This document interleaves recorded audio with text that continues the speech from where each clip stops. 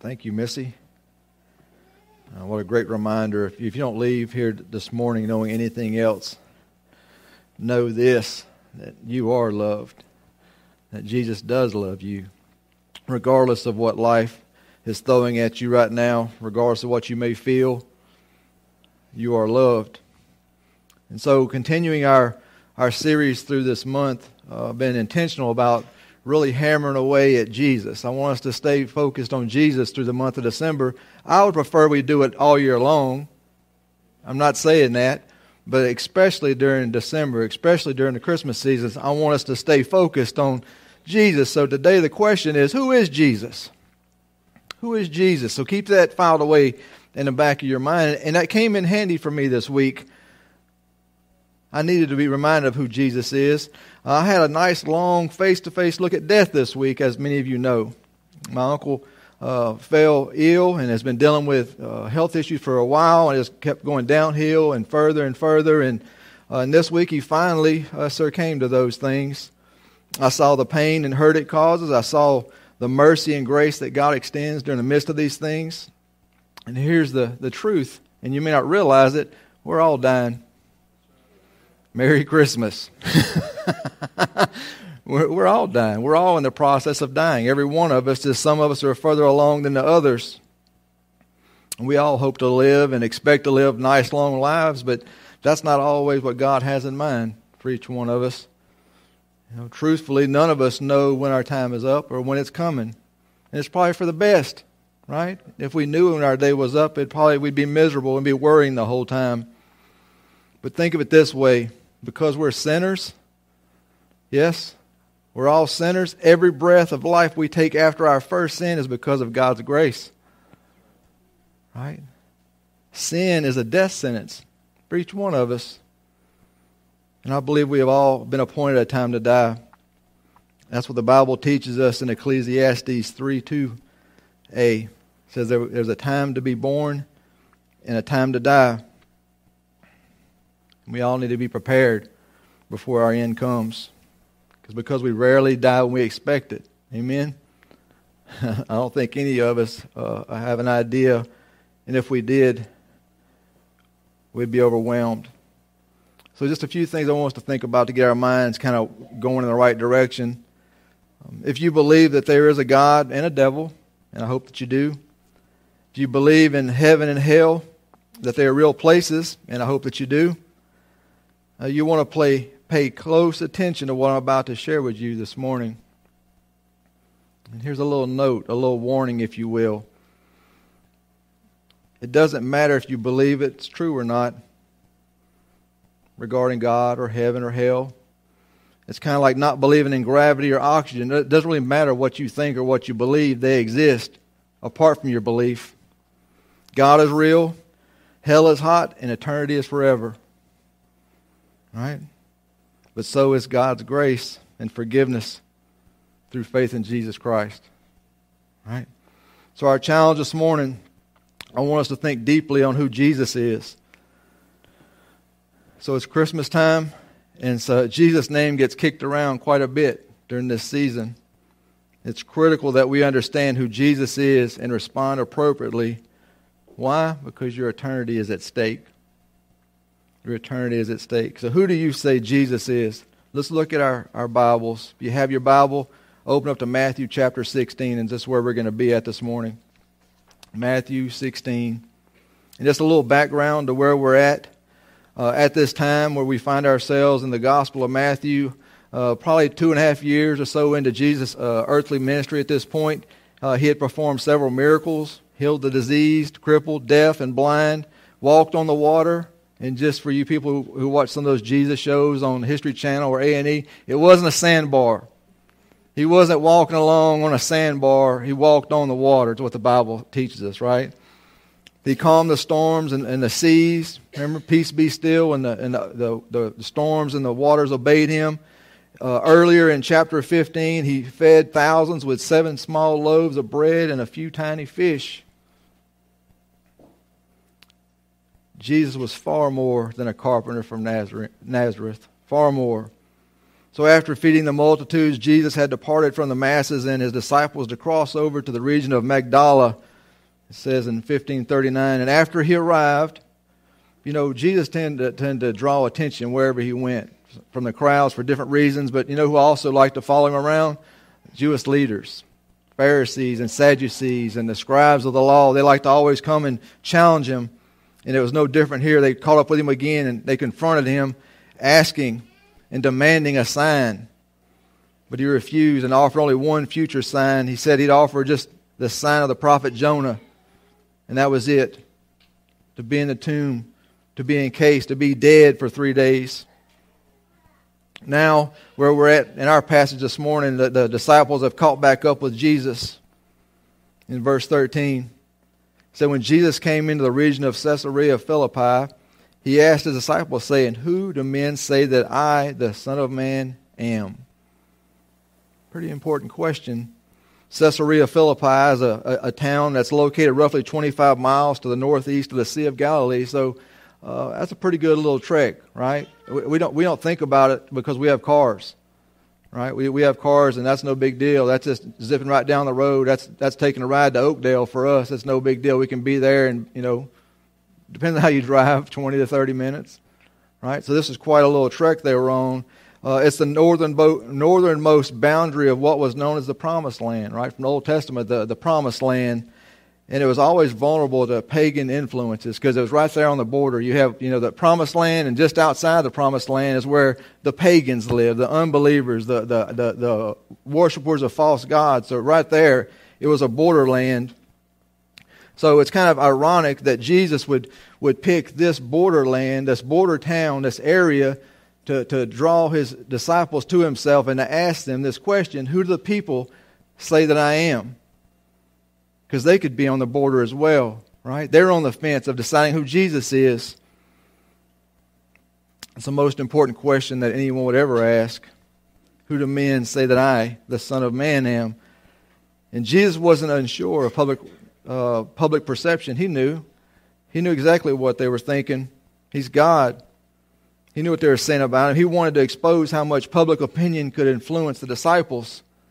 We talked about that a little bit this morning in, in Sunday school and, and how uh, uh, perception or the society or the things of the culture tend to influence us, whether we want to or not. So while we need to guard our hearts, guard our minds, guard our ears, what we watch, what we read, people we spend time with, it affects us. You say, well, Brother Mike, uh, the, I'm not subject to the public opinion, and none of that stuff really affects me.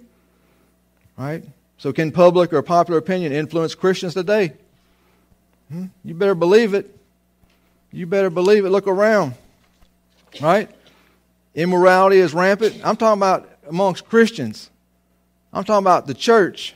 Immorality is rampant. Divorce is rampant. Shacking up is rampant. Worldliness is rampant. How do you think that happens in the church and among God's people? By living according to the cultural standards and not the Bible standards. Right? Well, it's legal. We just passed a law, it's legal, or, or, or, it's, not, it's not illegal. How about that? There's no law against it, right? Well, it's not what God's Word says. By living according to the cultural standards, we cause ourselves problems. We better be influenced by Scripture and not popular opinion of what culture adopts as normal. Right? God's word. The Bible says there's two possibilities. You know, we could, if we want to go and be like the world, there's two possibilities. It don't turn out well.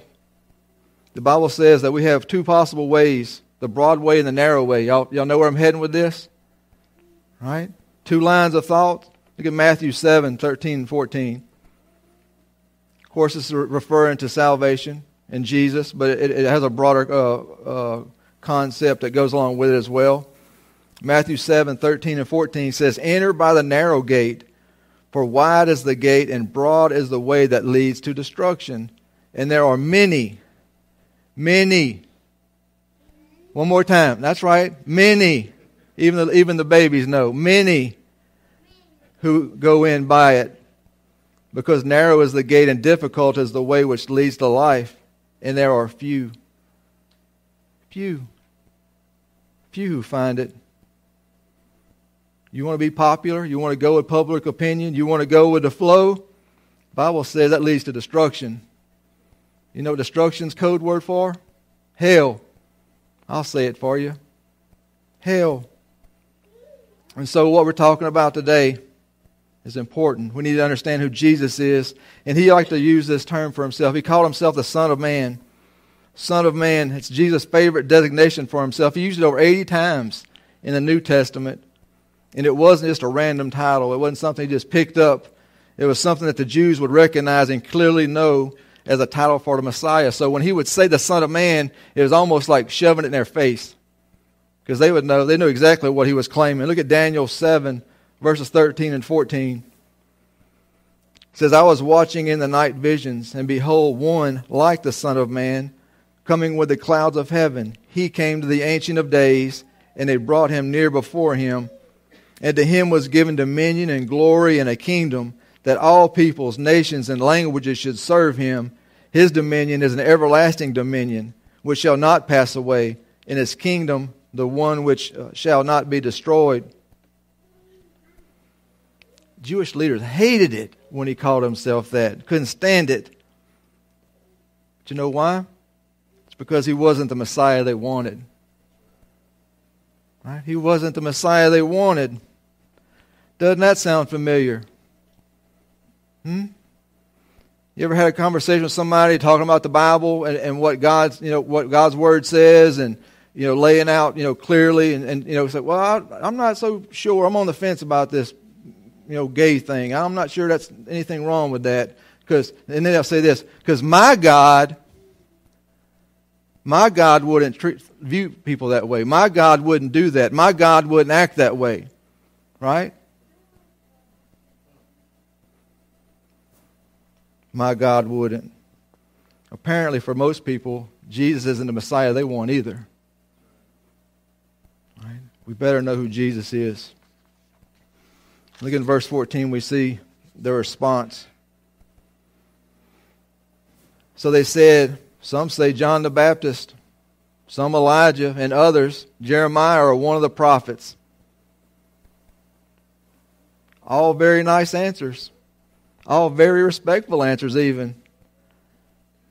But all very wrong answers. John the Baptist. John the Baptist, Jesus' first cousin, right? Uh, he was beheaded by Herod earlier, Herod the Tetrarch, because of a promise made out of lust for his live in's daughter. If you remember the story, it was a birthday celebration, and uh, she come out and danced for him and, and pleased him, and he offered, made a promise to her, ask me anything up to half my kingdom, I believe it was, and I'll do it for you. And she went back to her mama and she said, "We want John the Baptist's head on a platter." Right? So we went back, and he had to had to keep his word. So that was it for John the Baptist, beheaded. Right? The people rejected Jesus as Messiah but they could accept him as a resurrected John the Baptist. That's what's kind of funny that, that we, not the Messiah, but, but, but we're, because that's kind of, we don't want you to be that, but we will accept you as a resurrected John the Baptist. Hmm. Jesus is John the Baptist resurrected back from the dead to herald the coming of the Messiah.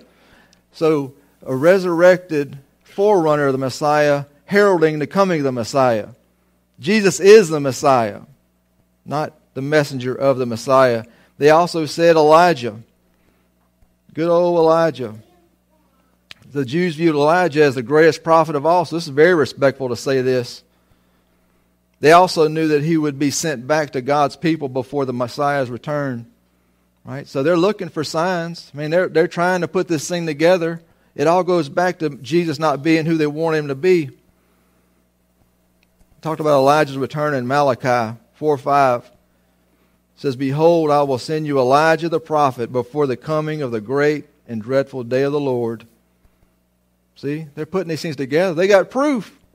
I got scripture that, that, that this, this guy, this, he's not the Messiah, he's, he's Elijah. He's John the Baptist, right? No? How about Jeremiah? Jeremiah. He, maybe he's Jeremiah. And so you have to go to some extra biblical writings to be able to put that one together. uh, if you're familiar with the Apocrypha books, uh, that's where you'll find uh, this information. Um, they had Jeremiah depicted as having taken the ark and the altar from the temple before the Babylonians desecrated the temple back in the Old Testament. They believed that Jeremiah would return the ark and the altar to the temple prior to the Messiah's return.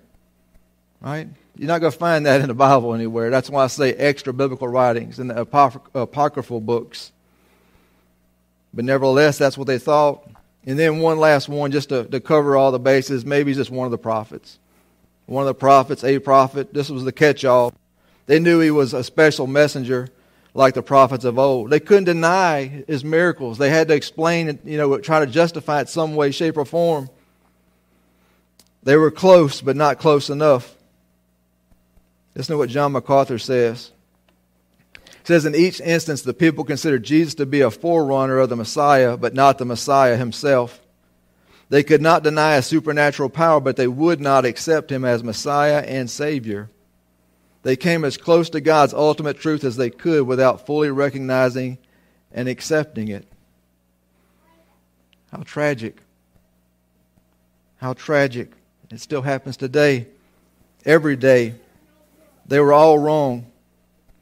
Any, any answer but Jesus is the Christ is insufficient. It's insufficient. Verse 15. Now Jesus gets nice and personal with the disciples. He said to them, But who do you say that I am? Hmm? Who do you say that I am? After hearing the opinions of others, Jesus wants, to, wants a direct answer from his disciples. And it's the same for every one of us, every single one of us. Jesus, Jesus isn't really interested or concerned with what others think. Right? Jesus is concerned with what you think. You will answer for you. Hmm? You will answer for you. There's no group plans for eternal life. Romans 10:9 says that if you confess with your mouth the Lord Jesus and believe in your heart that God has raised him from the dead, you will be saved. A lot of yous there. Hmm? Very personal, isn't it? Doesn't, there's no y'all or we. It's you. It's not your mom, right? It's not if your mom or dad confesses. You hear me, mom and dads? Your kids aren't saved because you're saved. They're not riding into eternity on your coattails, right? It's not if your husband or wife confesses, right? Husband, wife, believer, your husband, they're not saved. They're not going with you, right? Does, there's no group plan. It says if you confess, you'll be saved. You. Get it? You. It's individual. It's not a complex question. Who do you say I am? That's what Jesus says. In verse 16, Peter speaks up first. Imagine that, huh? Anybody shocked by Peter being the first one to blurt out an answer? Peter had a habit of doing that. Simon Peter answered and said, You are the Christ, the Son of the living God. Mm. Peter was the leader of the twelve. Peter nailed it. Right? Nailed it. You couldn't ask for a better answer. It's perfect. Jesus is, in fact, the long awaited Messiah of God. Peter, Peter had seen all the signs he had done. He was part of the inner circle, right? Peter, James, and John. He was close to Jesus. But even Peter, along with the rest of the, the Jewish people, was expecting a conquering Messiah like David to overthrow the Romans. Yet now, something happened. Something happened. Something changed in, in Peter's heart. Something changed in Peter's mind. Now he knew without a doubt who Jesus was. He is the Christ. You are the Christ, the Son of the living God. And, and don't be confused when you see these words get changed around. You'll see, sometimes you'll see Christ and sometimes you'll see Messiah. All Christ is, is the Greek form of the Hebrew word Messiah. It's the same meaning. Same meaning. For us, and what Peter says here, the Son of Man is the Son of God. And there's only one right answer to that question. But here's the truth. Here's the kicker. here's the, uh, the thing we need to all remember that we'll never, never come to know this truth on our own. Ever. It won't happen. Look at verse 17. Jesus answered and said to him, Blessed are you, Simon Barjona, for flesh and blood has not revealed this to you, but my Father who is in heaven. Hmm. Didn't commend Peter for being smarter than everyone else. He didn't, I can't imagine Jesus stepping back and, like, you know, bravo, bravo. You figured it out. No, I think just the opposite, really. Said, Blessed are you because you understand this beautiful truth. God the Father gave Peter that understanding of who Jesus was. That's how it happened. God the Father gave him understanding. Not just books, Books are good. I'm not against books. I got lots of books, lots of good books. Right? But books alone aren't sufficient. You're not going to come to know who Jesus is just by books. You may have some head knowledge, but you won't understand it in your heart. Not just great sermons. That's not going to do it either. That's not going to give you that understanding. You know, you may have more, more knowledge, more, more uh, information. Not just powerful testimonies. That's not going to be enough either. Nope. And not just consistent and accurate evangelism. Man, people can just over and over and over. Just beat you to death with Jesus. Right? You can say it backwards, forwards, upside down, however you want it. Uh, admit, believe, confess. Come to a revival every night of the week. And tell God the Father gives you the understanding, until God the Father blesses you, you will never get it. Never get it. Ever. Ever. Now, God works through these things. All these things, He works through them. But ultimately, it's God's responsibility to open our eyes. And that's not just my opinion. I know some of y'all are probably sitting there disagreeing in your, in your head and your heart, and y'all getting mad. And that's fine. You can get mad all you want because the Bible says it. That's what the Bible teaches. I got scripture. Do you have scripture to support your, your opinion? Because I got scripture. Look at John 6, 44 and 45. Mark this down. No one, no one, no one, no one can come to me unless the Father who sent me draws him. Is that pretty clear? Pretty clear, huh? and I will raise them up at the last day. It is written in the prophets, and they shall be taught by God. They shall be taught by God. Therefore, everyone who has heard and learned from the Father does what? Comes to me. Hmm? Let me do it one more time. No one can come to me unless the Father who sent me draws him, and I will raise him up at the last day. It is written in the prophets, and they shall be all be taught by God. Therefore, everyone who has heard and learned from the Father comes to me. So, in closing this morning, the truth of the matter is this it really doesn't matter what everyone else thinks about Jesus. It really don't. When each of us stand before God on Judgment Day, it won't make a difference what everyone else thought about Jesus. it won't. It will only matter what you thought and how you responded to that knowledge. That's it. That's the only thing that's going to matter. Each of us will be judged individually based off of how we answered that one question. So I'll ask it one more time this morning before we close. Who do you say Jesus is? Who do you say Jesus is? There's only one right answer. He is the Christ. He is the Messiah. So have you responded to God blessing you with that understanding? If so, amen. Amen. If not, what are you waiting for? What are you waiting for? And I would say, surely the Father is drawing some this morning. Surely He wouldn't give me this word, this message this morning without having a reason for it. Surely He's drawing some this morning. So do you. He's drawing. It's time to surrender. It's time to surrender. It's time to be forgiven.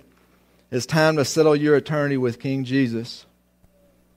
And why do I say this? Not as a threat, but as a warning, because I love you. The Lord loves you. We know not when our time is up. Let's play, let's pray, and we'll have a time to respond to God's word. Father, we are so grateful, so grateful for who you are. We are so grateful for your grace and your mercy in our life, God.